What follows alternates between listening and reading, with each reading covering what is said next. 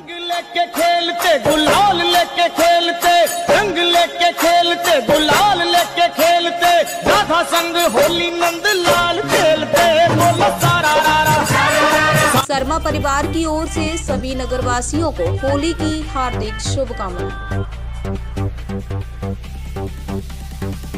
Holi आई Holi आई Holi आई।